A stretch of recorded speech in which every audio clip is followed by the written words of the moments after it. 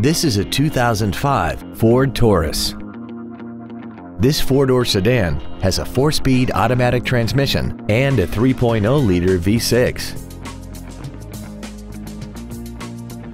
Features include air conditioning, cruise control, full power accessories, 12-volt power outlets, a passenger side airbag, a four-wheel independent suspension, an engine immobilizer theft deterrent system, and a multi-link rear suspension.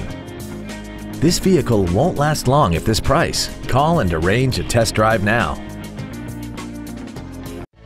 Andy Mohr Ford Lincoln is the place to find new Ford and Lincoln cars and trucks and pre-owned vehicles in Indianapolis. You can search our new and pre-owned inventory online, get new car pricing, and receive free no-obligation price quotes.